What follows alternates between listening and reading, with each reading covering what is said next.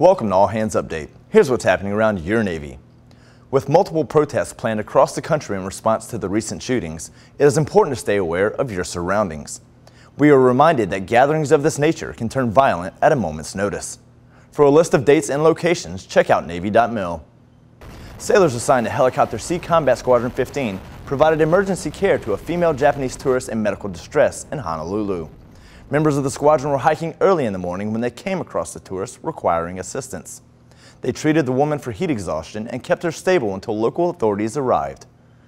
The Fleet Hometown News program has been replaced by the American Connections Media Outreach Program. For more information on the program, check out the NAVADMIN. You can read more about what's happening around your Navy at Navy.mil.